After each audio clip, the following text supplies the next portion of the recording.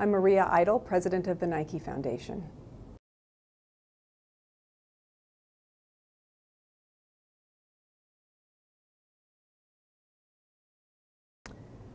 The World Economic Forum has really taken a leadership position around adolescent girls. Last year, it held a plenary on this topic, really putting girls on the top of the global agenda for the first time in history.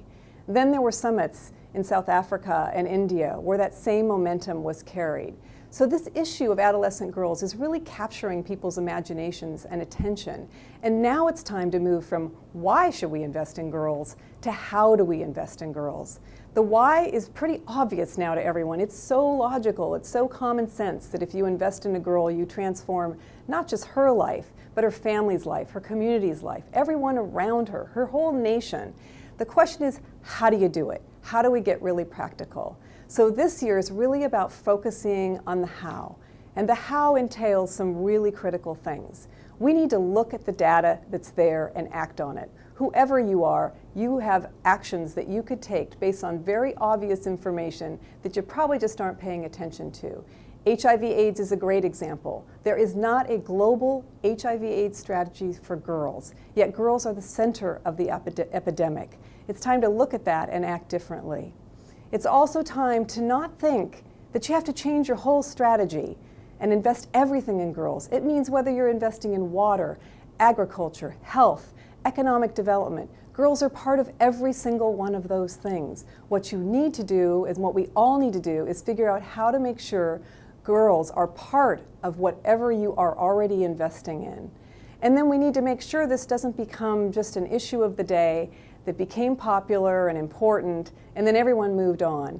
This is a fundamental issue of growth. Economies will not grow if their girls are not able to participate fully in their society, political system, and economy. And until we see those kinds of results, we will continue to see cycles of poverty.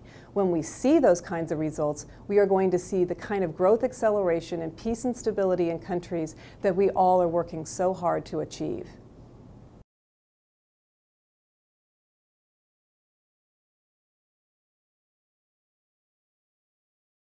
If we're going to redesign the world and actually solve problems, it's probably smart that we start preventing them before they start.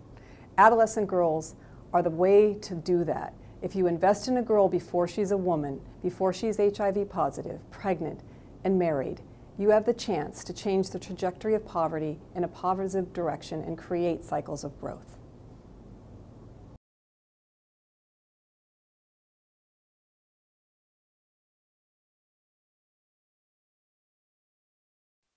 2010 is a really critical year. And one of the most important things we can do is make sure we start creating inclusive growth. And one of the groups that's had really no chance to be involved in contributing to that growth is adolescent girls in poverty. We have a huge opportunity if we give them a chance to become educated mothers, prepared employees, to become sources of growth for economies, as opposed to perpetuating cycles of poverty as they're HIV positive, pregnant, and married before they've had a chance to become an adult. So it's really critical that we see what are the root causes that are driving the lack of growth in economies. And one of the most important root causes is the mother of every child that will be born into poverty is going to start as an adolescent girl. And what happens to her at adolescence will determine whether she will be creating cycles of growth or cycles of poverty for her country.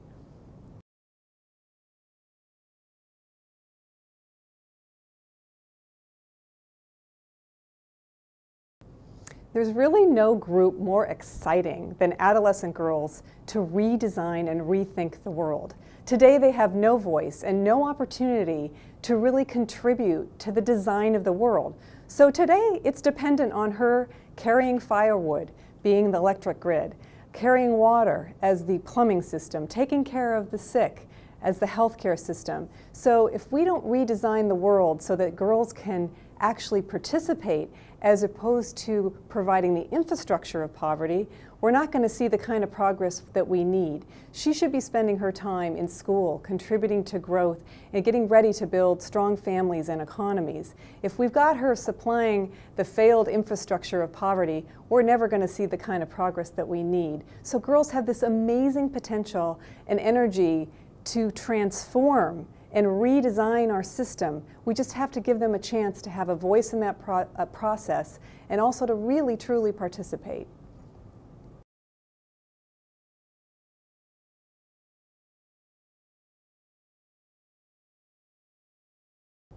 One of the most critical issues of our time is food security. Let's take that as an example. Adolescent girls do 70% of the work of agriculture, yet they're the first to go hungry. If we don't redesign the world, thinking about how the girl who is responsible for creating growth in that sector is educated and prepared to be a farmer of the future, we are losing out in a huge opportunity to accelerate growth in economies.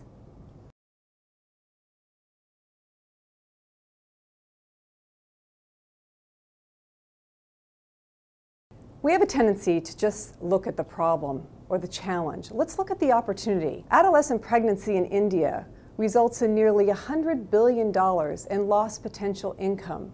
That's the kind of opportunity that if we took it very seriously and truly invested in that potential, we would tr transform economies.